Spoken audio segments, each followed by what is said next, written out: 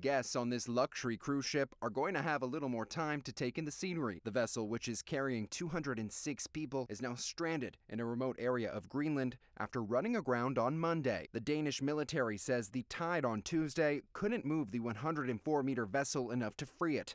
The Australian cruise operator Aurora Expeditions reports everyone on board is safe. The Arctic Command is in contact with ships in the area that could help.